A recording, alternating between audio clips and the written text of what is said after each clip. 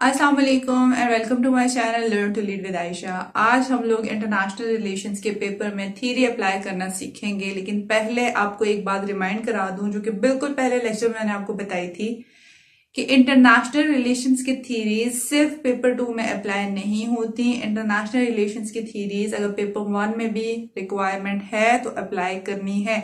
Paper one में भले आपसे बिल्कुल सीधा सीधा क्वेश्चन क्यों ना पूछा हुआ हो आपने उसको थ्योरेटिकल परस्पेक्टिव से बताना है। आज जो हम लोग थीरीज अप्लाई करना सीखेंगे। हम लोग कोल्ड वॉर के ऊपर थीरीज अप्लाई करेंगे।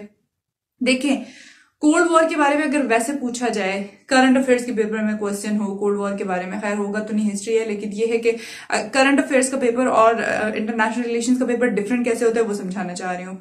तो इसी टॉपिक से समझाऊँगी, क्योंकि इसी पे थीरीज अप्लाई कर रहे हैं। तो फॉर एग्ज़ाम्पल यही टॉपिक अगर करंट अफेयर्स में होता। तो हम लोग सिंपली बता रहे होते क्या हुआ भाई? वर्ल्ड वॉर टू खत्म हुई दो पावर सेंटर्स बन गए बायोपोलर वर्ल्ड हो गई। एक तरफ़ कम्युनिस्ट यूएसएसआर था दूसरी तरफ़ capitalist United States of America था। फिर दोनों में हम लोग एग्रेशन जब जब हुई वो बताएँगे। आ, हम लोग बता सकते हैं कि कोरिया के अंदर इंटरवेंशन हुई 1950 में यूएसए ने की। फिर उसका मकसद क्या था? वही डेटरेंस क्रिएट करना जो हम पढ़ चुके हैं। फिर हम लोग क्यूबन मिजाइल क्राइसिस की बात करेंगे हम यूटू इंसिडेंट्स की बात करेंगे हम दितान फ़ेज़ की बात करेंगे। और सीधे सीधे जैसे इवेंट्स हुए वो सारा बता देंगे, ये थी कोल्ड वॉर डिफरेंस आया के पेपर में कहा आता है? डिफरेंस थीरी अप्लाई करने में आता है। वो हम बात कैसे करते हैं? वो हम बात कुछ इस तरह से करते हैं। देखें। हम लोगों ने जब भी थीरी की बात करनी है टेबल बना के ज़रूरी नहीं है कि आप बताएँ। बेहतर है कि पैराग्राफ फॉर्म में ही बताएँ। टेबल बना के मैं इसलिए समझा रही हूँ, इस, इसका सारा क्रेडिट मेरे टीचर को जाता है। ये मेरा तक बनाया हुआ नहीं है थीरी एप्लीकेशन तो ये उनको ही क्रेडिट जाता है क्योंकि उनकी मेहनत है, जिनसे मैंने पढ़ा है। तो उन्होंने टेबल बना के हम लोगों को समझाया था, वही चीज़ मैं आप लोगों को समझा रही हूँ। तो थीरी कैसे अप्लाई की जा सकती है? देखिए थीरी में थीरी अप्लाई करने में आपने सबसे पहले लेवल ऑफ़ एनालिसिस बताना है इंडिविजुअल लेवल की बात कर रहे हैं। फॉर एग्ज़ाम्पल अब क्लासिकल रियलिज्म की आप बात करेंगे ना तो क्लासिकल रियलिज्म आप पेपर में क्लासिकल रियलिज्म को कैसे एक्सप्लेन करेंगे? आप इस तरह से एक्सप्लेन करेंगे कि according to the theory of classical realism individuals are characterized as aggressive as जो हम लोगों ने पढ़ा था individuals are characterize as egoistic selfish greedy and they are aggressive so as classical realism characterizes leaders as aggressive. We can also see that in Cold War where we see that aggressive containment policies of Truman and aggressive personality of Stalin led towards a confrontation between USSR and USA. This is in accordance with the concept stated by the classical realism that leaders are aggressive. Therefore, this led towards a confrontation known as Cold War, which did not turn into a hot war. आगे जो भी आप उसको एक दो lines लिख के तो कंक्लूड करना चाहें तो हुआ क्या पहले बताना है थीरी क्या कह रही है उसके बाद बताना है इवेंट क्या हुआ था एंड पे ये बताना है कि this is in accordance with the theory दूसरा देख लेते हैं देखिए क्लासिकल आइडियलिज्म क्या कहता है? दूसरी बात करते हैं ना ऑपोजिट बात करते हैं तो क्लासिकल आइडियलिज्म भी इंडिविजुअल लेवल की बात ही करता है और uh, कहता है कि रैशनल चॉइस होती है या फिर लीडर जो है वो अल्ट्रिस्टिक होते हैं इंडिविजुअल अल्ट्रिस्टिक होते हैं वो सारी बातें जो हम डिस्कस कर चुके हैं। तो दूसरा पॉइंट अगर हम लोग एक्सप्लेन करना चाहें कि cold war in the perspective of classical idealist for example this is our heading तो हम क्या कहेंगे? According to the classical idealist individuals are altruistic and individuals think rationally Therefore, as we see in the Cold War, all the leaders except Mikhail Gorbachev pursued the war as a rational choice. This can be seen uh, in accordance with the perspective of classical idealists that leaders think rationally and leaders are altruistic. तीसरा point अगर हम लोग देखें हम लोग अगर state level की बात करें पहले दो बातें हम लोगों ने कर ली ना क्लासिकल लेवल के ऊपर तो क्लासिकल लेवल के ऊपर पहले दो बातें हमने कर ली पहली दो हेडिंग्स हमारी बन गई पहले दो पैराग्राफ्स हमारे हो गए अब नेक्स्ट हम लोग स्टेट लेवल की बात करेंगे और स्टेट लेवल की कौन कौन सी थीरीज थी? न्यू रियलिज्म और न्यू लिबरलिज्म थी ना?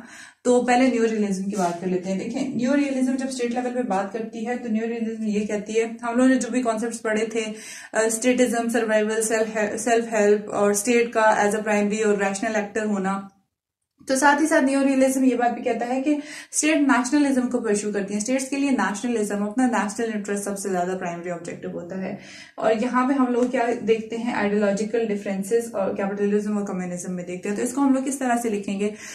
According to the new realist states are primary objective in international relation and states pursue their nationalism as their prime objective we can also see in the cold war that both USA and USSR pursued their ideology of capitalism and communism respectively. This is in accordance with the neo-realist concept at state level in which they say that states keep their nationalism at priority irrespective of whatever the consequences. तो इस तरह से हम लोग पहले ये बता रहे हैं कि स्टेट लेवल के ऊपर न्यू थ्योरी क्या कह रही है उसके बाद इवेंट क्या था, हम लोगों ने यही देखा कि कैपिटलिज्म और कम्युनिज्म में वॉर थी और उसके बाद हम ये कहते हैं कि ये in accordance with new realism था। इसी तरह से न्यू रियलिज्म सिर्फ़ स्टेट लेवल की बात नहीं करता इंटरनेशनल लेवल की बात भी करता है। तो न्यू रियलिज्म इंटरनेशनल लेवल पे क्या कहता है?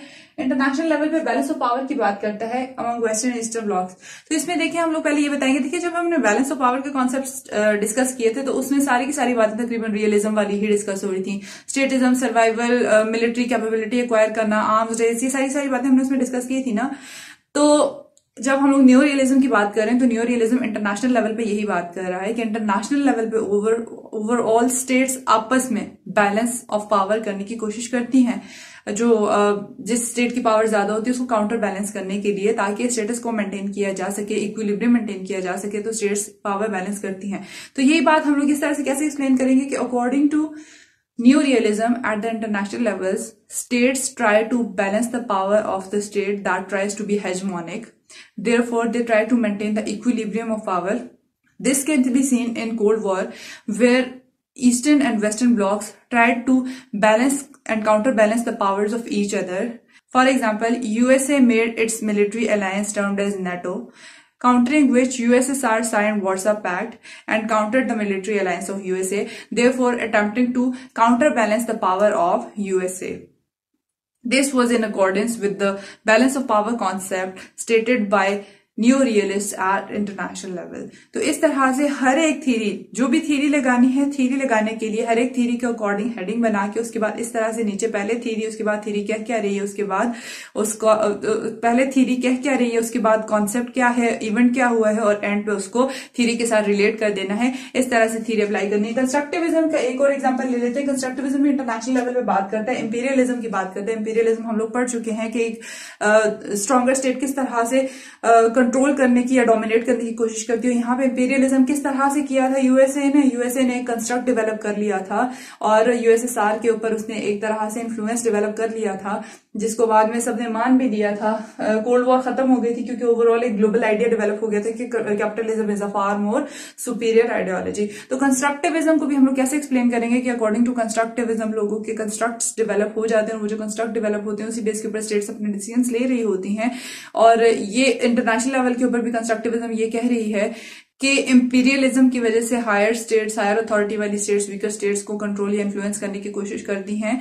तो यही देखा गया कोल्ड वॉर में जब कंस्ट्रक्टिविज्म एक कंस्ट्रक्ट डेवलप होने की वजह से कैपिटलिज्म को एज ए सुपीरियर आइडियोलॉजी मान लिया गया और कम्युनिज्म हार गई। तो इस वजह से क्या हुआ कि ये हम लोग देखते हैं कि ये हम लोग को इन अकॉर्डेंस विद कंस्ट्रक्टिविज्म ही नज़र आता है, क्योंकि कंस्ट्रक्टिविज्म यही बात कर रहा है और कोल्ड वॉर में भी यही हुआ था। तो इस तरह से आपने एक पैराग्राफ बना लेना है और सिर्फ़ और सिर्फ़ रियलिज्म और आइडियलिज्म ही अप्लाई नहीं करनी। कंस्ट्रक्टिविज्म जहाँ फेमिनिज्म अप्लाई होती है, वो करनी है और जो, जैसे मैं आपको फोर ग्रेड डिबेट्स में बता चुकी थी कि आप लोगों ने कहाँ किस किस तरह से इकोनॉमी के ऊपर आपने कौन सी थीरीज अप्लाई करनी है? तो इस तरह से आपने पहले थीरी का बता के इवेंट का बता के, उसके बाद उसको थीरी के साथ रिलेट करके कॉन्क्लूड कर देना है। देखिए, हम लोग अगर रिसेंट इवेंट्स अगर हम लोग अभी कोरोना वायरस की बात करें कोरोना वायरस के बाद हम लोगों ने देखा ना, सारी स्टेट्स अपने बॉर्डर्स को क्लोज कर थी। इसको हम लोग किस परस्पेक्टिव में ले सकते हैं? हम लोग न्यू रियलिज्म कि स्टेट लेवल पे बात कर सकते हैं, हम लोग न्यू रियलिज्म की इंडिविजुअल लेवल पे भी बात कर सकते हैं, क्योंकि न्यू रियलिज्म के अकॉर्डिंग हम लोग को इंडिविजुअल लेवल के ऊपर लीडर्स के डिसीज़न भी नज़र आए, हम लोग को न्यू रियलिज्म के अकॉर्डिंग स्टेट लेवल के ऊपर भी स्टेट्स के डिसीज़न नज़र आए बॉर्डर्स को क्लोज करना, सिर्फ़ और सिर्फ़ अपने नेशनल्स को, अपने सिटीजन को ही प्रोटेक्ट करने की कोशिश करना ट्रेड खत्म कर देना स्टेट के सर्वाइवल को इंश्योर करवाना। हम लोगों को न्यू रियलिज्म में ही इस पर डिबेट मिलती है। तो आई होप मैं आपको थीरीज अप्लाई करने का कॉन्सेप्ट समझा पाई। इसी तरह से जो कोई भी इवेंट होगा, आपने उसके ऊपर थीरी अप्लाई करनी है और ये कोई इतना मुश्किल नहीं है। प्रैक्टिस के साथ बिल्कुल हो जाता है और समझ में आ जाती है कि किस तरह से थीरी अप्लाई करनी है। बस इवेंट्स को थीरी के साथ रिलेट करना होता है। तो थीरी एप्लीकेशन के बारे में इतना ही। आई होप आपको समझ आ गई होगी। That was all for today thank you Allah Hafiz